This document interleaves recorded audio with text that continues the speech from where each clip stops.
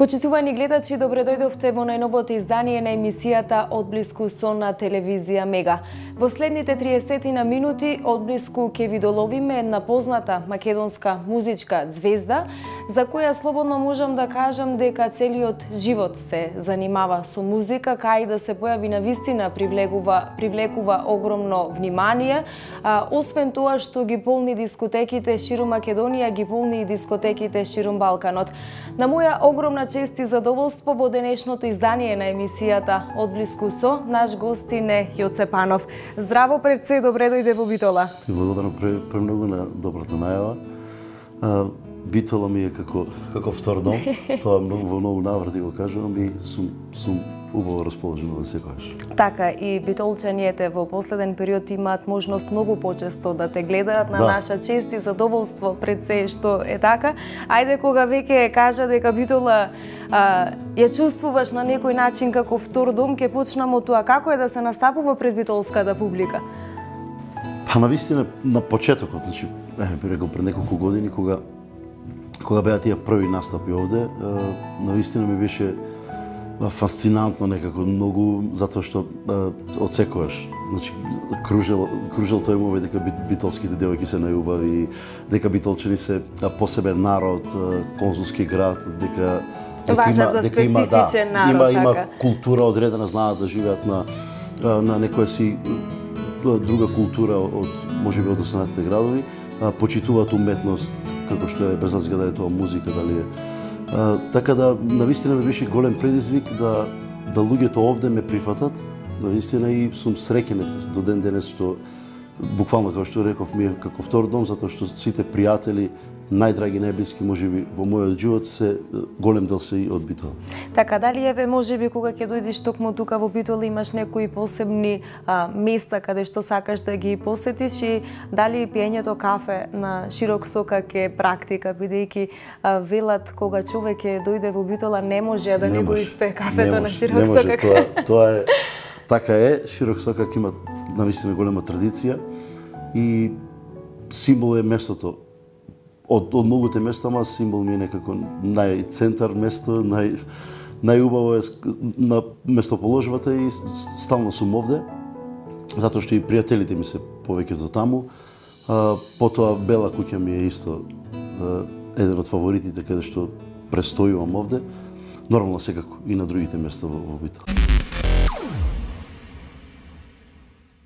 Бидејќи целта на мојата емисија е што поблиску да те доловиме до сите наши гледачи, ете, верувам дека добро познати им сте на сите, но би сакала да опфатиме некои повеќе прашања како од професионален живот, така и од приватноста. А, кажа во самата најава дека уште од мали нозе се занимавате со музика, ајде на самиот почеток да ве наврата многу години наназад. Кога беа твоите први почетоци кон музиката? Како се сеќаваш на тие денови? Па над... Тоа беше сигурно 5 или 6 години. А, паметам, значи паметам а, како дете, добро, потекнува од музичка фамилија пред се, значи потекува од музичка фамилија и тоа беше неминовно да да се случи да сите, еве и брат ми и сестра ми сите имаат талент за музика, но јас професионално го го работам тоа.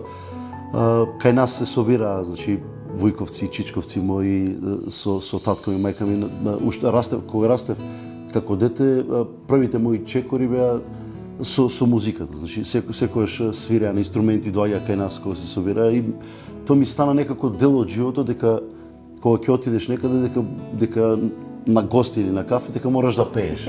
Дека мора да е така. Така сум мислел дека е затоа што така растев.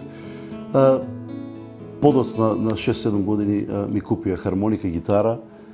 Почнав, почнав така, почнав со, во нижо музичко во, во Штип. А, таму, таму учев. А, некако си- сите, сите следни чекори ми дава до знаење дека треба да, да, да го работам ово, затоа што освојував награди на, на фестивалчиња детски, на надпревари со хармоника, со гитара, било какви такви некои манифестации, бев наградуван и сето тоа ми даде еден стимул од мал да да да продолжам понатаму и подоцна се се се се редеше така, се запишав средно музичко училиште во во во Штип, подоцна факултет во Скопје и магистратура, така да ете цел живот со тоа. Така дека сте успешен во својата професија, ете токму потврдуваат и самите награди кои, како што кажавте, сте ги добивале токму уште од мали нозе.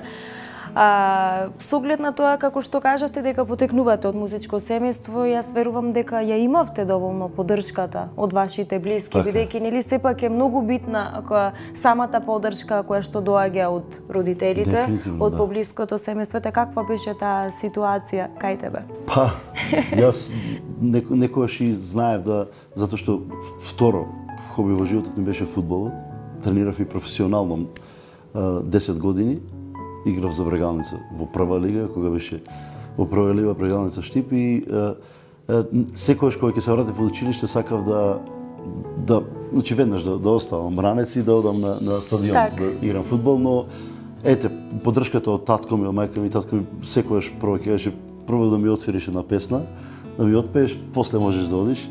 И тоа е таа поддршка што ете они на некој начин можеби свесно ме, ме упатиле да, да работам во студија за работа. Така, бидејќи кажа 10 години професионално се занимаваше токму со фудбал во фудбалскиот клуб Брегалница, ете кој беше оној пресуден момент да не продолжиш професионално со фудбалот, туку да се насочиш кон музиката или токму таа поддршка која што пред малку ја спомна токму тие насоки од твоите родители беа токму тоа пресудното? Паралелно, паралелно кога одев на тренинг, паралелно сите другариве ден денес од, од Штип што и, и оние фудбалери кои колеги би рекол на некој начин кои некои се занимаваа подоцна и професионално одеа во други клубови во ни светот. А, ден денес ме зафракаваат за тоа се гледаше дека од, од мал сакаш музика затоа што кој одевме на утакмици во друг град со автобус нормално цела екипа Јас секогаш инсистираа да носам хармоника со мене или гитара. Така, ти беше тој што да. ги забавуваше. И ги забавувам, одиме играме фо ако победиме уште повеќе, позавршуваме и по по ресторани. Така да цело време тоа се водеше некако паралелно и нормално. Во Македонија за жал и порано и без интернетот тоа беше многу тешко да да успееш надвор од Македонија со фудбалот, така на спортот никогаш не бил на некој си не знам какво ниво. И кога кога веќе кога се запишав факултет во Скопје, музички сватив дека нема иднина од, од, од фудбалот, односно треба многу голема среќа за да, так. да успееш некако надвор од Македонија со фудбалот, а, а кариерата на фудбалот е максимум до 30-30 и нешто години. Значи, фудбалерите веќе 32-3 години се пензионираат, така да сватив дека ми е краток тој период да, да се надевам дека можеби ќе ќе направам нешто на светско ниво со фудбалот и затоа одлучив дека музиката можам да си пеам дор сум жив, така да тука тука нема граници, нема нема рокови, затоа а, а, некако фудбалот го занемари во, во ми премина во хоби, а, музиката на, на професионален начин. Мислам дека го направи одишниот избор воопшто не не си изгреши лете што си одлучил токму професионално да се занимаваш со музика. Дали сега покрај сите обврски настапи, многобројните концерти, ко, настапи кои што ги имаш, имаш време за да се навратиш да одиграш некоја партија фудбал со твоите пријатели? Имам, да. имам, имам, имам нонстоп тоа го правев до пред две години кога го повредив коленото. Малку посериозно. Имав хируршки зафат на на коленото и сега одам ама со малку поголем страв, затоа што нормално кога не тренирате секој ден, телото е подлежно повеќе на повреди и се пазам, внимавам, одам, желба ми е, тоа е страстото никогаш нема да да згасне во мене, ама голема желба одам на терен и играм со со другари, ама се пазам, значи не сум до толку како порано, морам гол да постигнам по секоја цена. Сега сум малку сталажен, смирен и повеќе време односно кога сакам физички да се потрошам, одам на на водно во Скопје, так. пешачам така да некако го со, со, со тоа го го како да кажам, заменувам фудбалот. А дали може би покрај фудбалот имаш некое друго хуби? Дали може би вежбаш и како ја одржуваш да, оваа да, убава линија? Да, покрај тебе како... Благодарам. А, се, тоа ми остана, мускулатурата е научена, на вистина, цел живот кој се бавите со спорт, особено од, од мали нозе, а, мускулатурата е научена дека затоа што И сега ми треба многу малку да влезам во тератана така. за да се вратам. Затоа ме зафракаваат другари мои кои се професионални билдери и кажа, како ти дојдеш во, во март и во јуни излагаш на плажа и супер тело као Супер теско. форма, Ние така. цела година бешме се мачиме, знаеш. Без резултати. Е, Тоа е тоа што одам така малку бодибилдинг, ама не не често, не редовно, затоа што не ми дозволуваат обврските. Стално патувам Србија, Хрватска, се враќам Македонија, нонстоп сум на такви релации и не можам да наистина уморно си бара билдингот си бара да, да, да спиеш убаво, да одмориш, за да вежбаш. режим Ама јас сум среќен што ете, пазам и на исхраната, пазам и малку на колку толку барам да имам некоја физичка активност и така некој се одржува. Така кажаете, тоа ми беше следно прашање дали внимаваш на здравиот начин на искрена, ре кажа дека внимаваш, но знаеш често да постигнеш побрза храна, по, по некое благо или слично. Некогаш, да, некогаш. Некогаш по безискиве така кога патувам и кога кога немаш простор, сакам, сум стрвен по природа и сакам некогаш некоја милка да, да изедам, ама добро. Не е страшно ако ако не претерувате. Така. Ако тоа се случува еднаш неделно, знам еднаш неделно да изедам и хамбургер или сендвич, не е проблем, ама а, 90% од од а, денот или од неделата или од месецот, значи гледам да да правам чистење на организмот, да да внесувам повеќе зеленчук, овошје. Се пазам на некој начин. Така, кој е најомилено јадење на Јоце Банов? Моја? Бифтек, дефинитивно.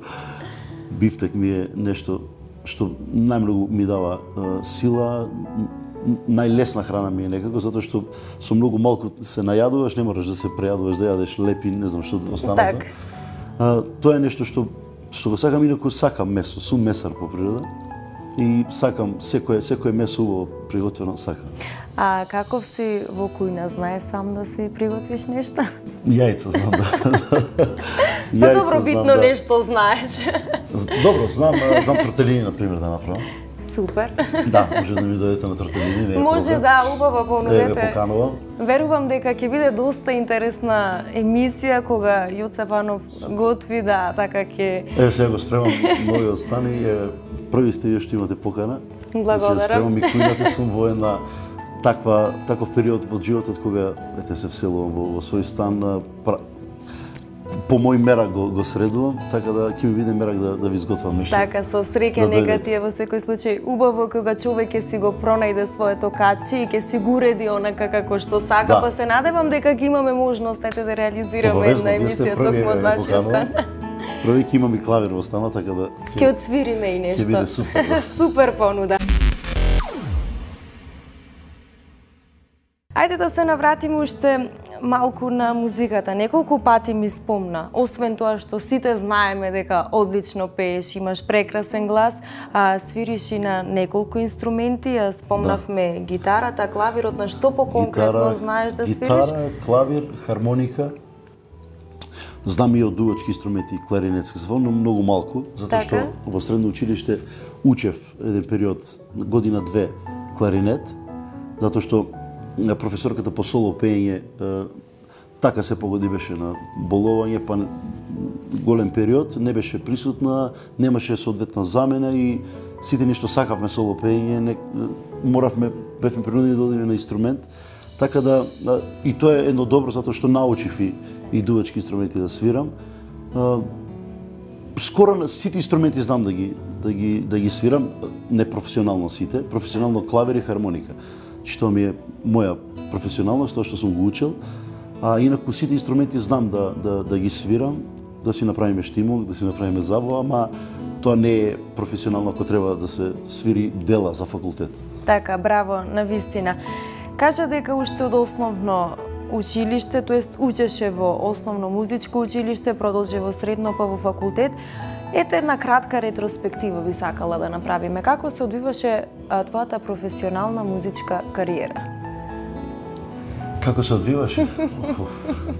па 2006 на Макфест, затоа што штипјанец ми растев со, со Макфест. Макфест беше наистина кога кога бев дете, сега веќе Макфест. Не само Макфест, сите фестивали, не се тоа што што имале таа драж некогаш. Да, Живеев со тоа, да вистина секој октомври, како дете се сеќавам, одев кај Домот на културата во Штип и со мечтање ги гледав сите тогаш југословенски звезди доаѓа таму. Значи Кемал Монтено од буквално сите звезди имаат настапувано таму и пеено и ми беше тоа голема желба еден ден да да застанам на таа сцена. 2006 ми беше дебитанско дебитански настап таму со сродни души, наистина песна која имав среќа некако во кариерата затоа што првата песна што ја снимив сродни души ми донесе голем успех многу, посебно во во Штип до ден денес тој можам да кажам слободно химна на Штип, од 7 до 77 ја знаат сите. И така снимив 2006 2007 пак настапив и 2008 на Макфест, три години поред. Настапив на Охрид фест и тие се 3-4 фестивали каде што во Македонија имав 4-5 песни мои и 2008 година направив концерт во во истата таа сала во Домот на културата, на бистина беше преполна. Таму имала 600 или 700 столици, а имаше над 1000 луѓе. Значи 100 е луѓе вака. Браво. А, сум среќен тоа го имам запис како DVD. А, ќе ви го дадам. Значи, може, може, да. може некои инсерти од да, тоа. Да, супер би било. Мислам дека го немам се уште на, на YouTube ставено тој, тој момент, а ми е многу драг. Така и тек имаат нашите да, гледачи да ексклузивно ете, можност да видат некои снимки. Ме подсетив на убав момент да се сетив. Го имам на DVD дома. Тоа DVD се продаваше како концерт затоа што беше хума, со, од хуманитарен аспект. А, сите беа присутни и децата од домот за за посебни потреби искра во Штип. Беа присутни на самиот концерт, има и они неколку точки нивни со мене, на мој изненадување испеа, испеа мои песни. Така да целото таа ситуација ми ми даде некако во тие години да да, да крилја на едноставно дека треба да го работиш ова. Нормално, ситуацијата во државата се, секош, не само кај нас и во, во било која е тешко да да веднаш се лансираш или да успееш во било која професија, ама јас сакам цел, цел живот така скала по скала. Така не ли велат, и... патот до успехот е тежок. Е трнив, да. да, така и трнив, но вие сте го изодили и тоа доста успешно. А, доказа вашата успеш, успешност од друга страна сте се големиот број на награди кои што сте ги освоиле. Ете, накратко, кои ви се оние поомилени?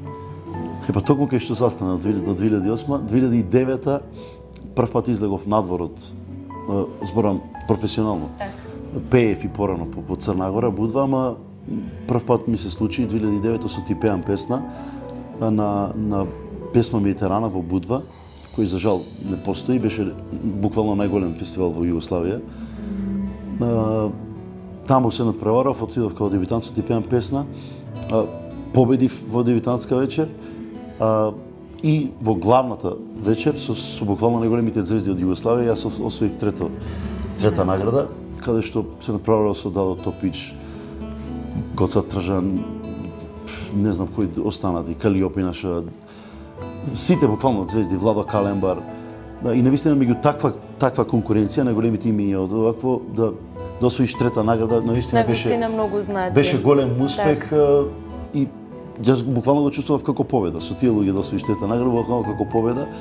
И тогаш ми трна таа интернационална кариера надвор од надвор од Македонија затоа што таму освоив награда, со таа награда се случија многу многу контакти низ, низ Југославија, Хрватска, посебно Хрватска затоа што Никша Братош го водеше оркестарот таму, се беше во живо. После почнав да работам со хрватите, значи со Миро Буљан и Антонија Шола, Никша Братош. Со, со цела таа екипа таму, заминав во Загреб, бев година две. Таму снимив албум, огнени печати или ватрени печати кои кои излезе за сите рекорд за сите. Така. Тие држави тоа беше 2012 или 13, ако не се сеќавам, не се сеќавам добро. А, и од таму почна се. 2010 после пак земав трета со љубовна религија. Отидов на, на, на Славенски базар во, во Белорусија, во Витебск, исто од 30 земји учесници. А, и таму освои трета награда. Секаде Молдавија, Варна, Загреб Фест, не знам, Украина, Русија, значи сите од сите овие фестивали, кои ќе дојдете ке мене во станот се наред, ќе ги наредам наградите да Супер. Да ги видите така да сите се така се одвиваше кариерата и неко се научив да кога ќе се појавам некаде да морам да однесам дома некоја статуетка и пред време си правев место, значи на на така. дома на полисата, се викам кога ќе се вратам морам овде да тука да стои. Да, си визуализирав на некој начин. Така да тоа е до сега може би сум испуштил, да, и Сучене скале исто така. Трета награда со големи твој додир. Не знам, сите фестивали кај што сум бил, земав награди, до сега имам околу 15 некаде за овие 4-5 години. Браво, честито и да ви се множа. Дај да. Боже, дај Боже уште многу успеси да имате и во иднина. Освен што настапувате низ цела држава, како што кажав, многобројни настапи имате и надвор од нашата република. Ете, а, каде се вашите обожаватели може да ве видат? Буквално низ Македонија секаде, низ сите дискотеки и поголеми клубови, да не ги набројавам. Так. Тоа се сите клубови кои се во, во Македонија. Надвор од Македонија исто така Црнагора, исто така ни сите градови низ Црнагора, дискотеките. Сега се посветив повеќе на Србија, mm -hmm. затоа што е, менаџерот Сашо Обрадовиќ ми е од, од таму и е, сум посветен повеќе сега на тој пазар.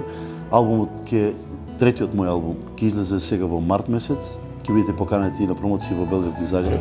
Благодарам. Ќе биде чест ако дојдете и таму да да, да, да го снимите тој момент. А, се сконцентрирав на, на, на стапите таму, повеќе во Србија. И тука и таму патувам цело време, го спремам албумот, го спремам и за, за хрватски, хрватски пазар. Се се тие образки со снимање Јекавица, Екавица, во Србија едно за, за Хрватска треба истата песна да ја препееш на Јекавица, значи сите тие моменти и патувања Ама сега сум повеќе сконцентриран значи во, во Србија, во Белгија. Кога веќе го спомнавте вашиот трет студијски албум кој што ќе излезе за кратко време, ете да ги запознаеме подетално нашите гледачи од колку песни се се состои. Пак има сигурно 12-13 песни, сигурно. Може би ако снимам уште некоја нова, а па ништо чудно. така да ќе овој пат затоа што мислам дека веќе две и пол години како не сум издадал, се ја вадев синглови цело так. време, константно, и се собра доволно, доволно, доволно песни за да, да ги комплетирам на, на еден запис. Ке има толку од прилика. Нормално ке има и неколку бонус песни од, од претходните албуми кои кои добро пројдоа так. и кои би сакал повторно да да стојат како бонус траки, да да и тие нови што фанови што сега би купиле CD да, да ги знаат и тие песни што што били успешни. Така да не откриваме сепак премногу за самиот албум, ќе има време кога подетално ќе поразговараме и тоа нели кога ќе излезе. Од сите твои песни, која ти е онаа најомилена или може би песна која што најдобро те опишува? Дали постои таква? Па. Постои, навистина ти пеам песна и буквално песната се се одвива некако на некои периоди во живот, животни, така на, на 2-3 години. Да, првичо беше сродни души, така. на, може би на помал, ете, помала популација. Значи, ошти во тој регион таму, кај, од кај што потекнувам. Подоцна дојде ти пеам песна која направи на, вистина голем бум за мене лично и моја лична карта низ цела Југославија, затоа што таму во Будва каде што победив беа сите сконцентрирани телевизии и медиуми од цела Југославија. Беа присутни и буквално се расшири песната на сите радиостаници и сите телевизии. Навистина ми е драга таа композиција да пеам песна затоа што на многу чуден начин дојдов до, до неизе. И сега во најнов период е, е, е Ниле од љубовта, песна која пеев на избор за Евровизија 2014 година, а, која основната верзија е Ниле од љубави. Значи, српската верзија е основна.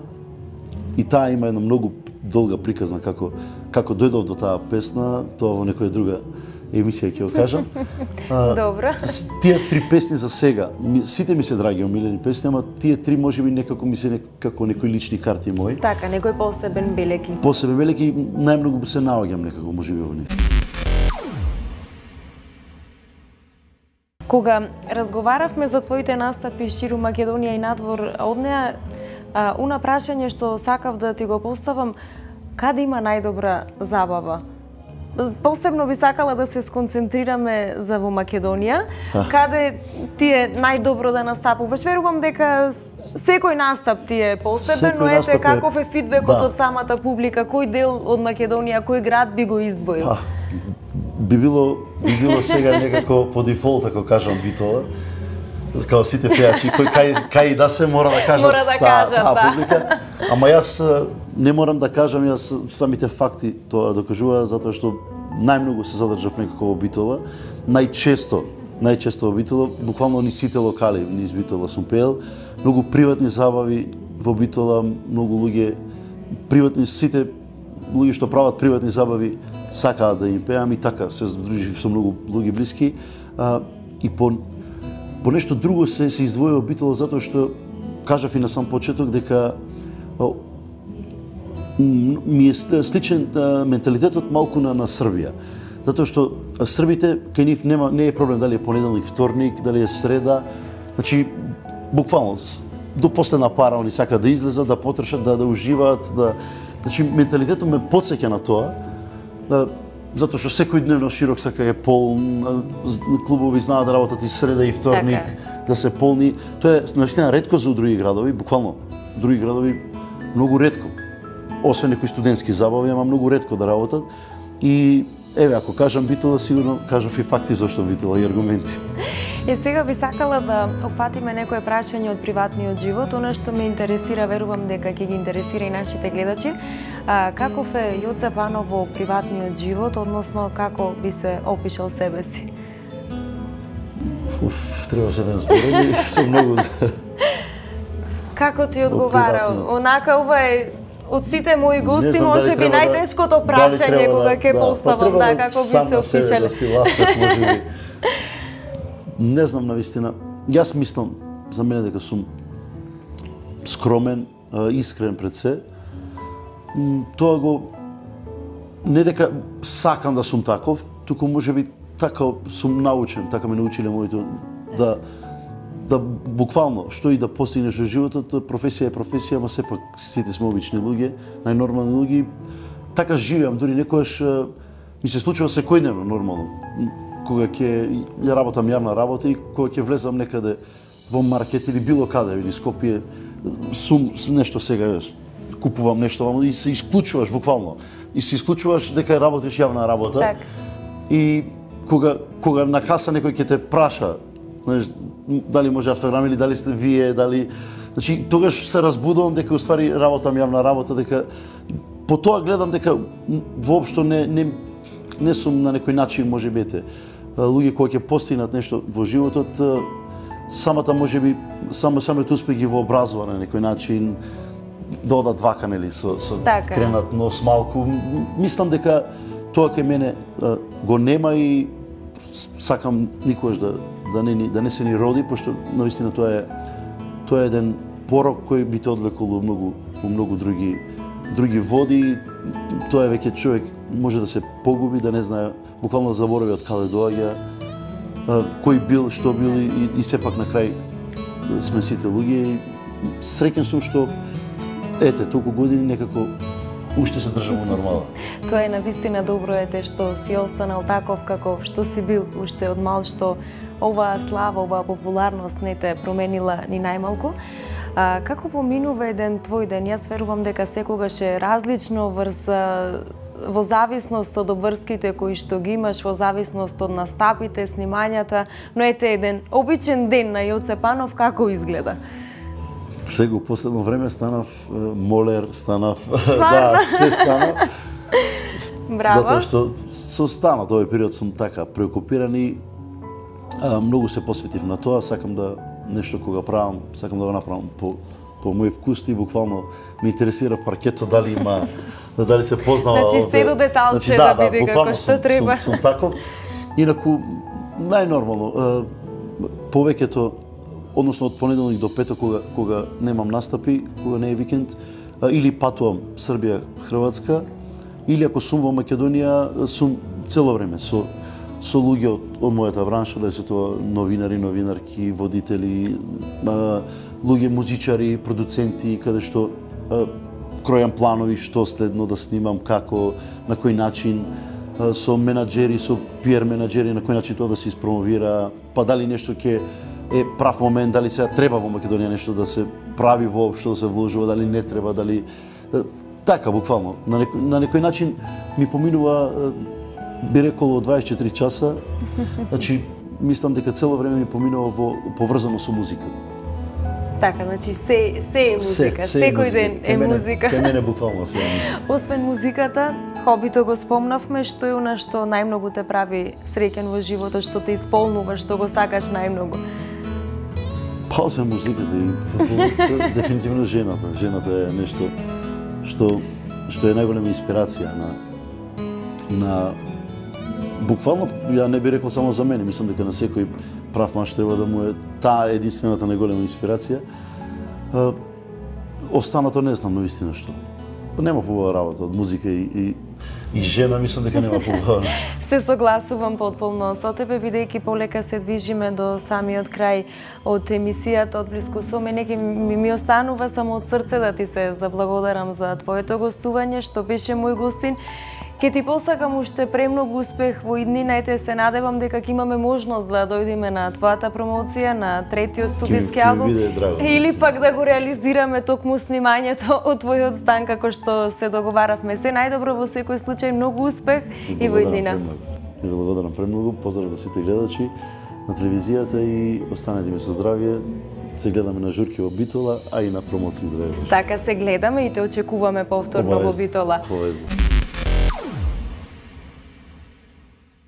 Почитувани, тука е крајот на уште едно издание на емисијата Од Блиску со јас. Верувам дека уживавте во изминативе 30 на минути со мојот и ваш денешен гостин Јоце Панов.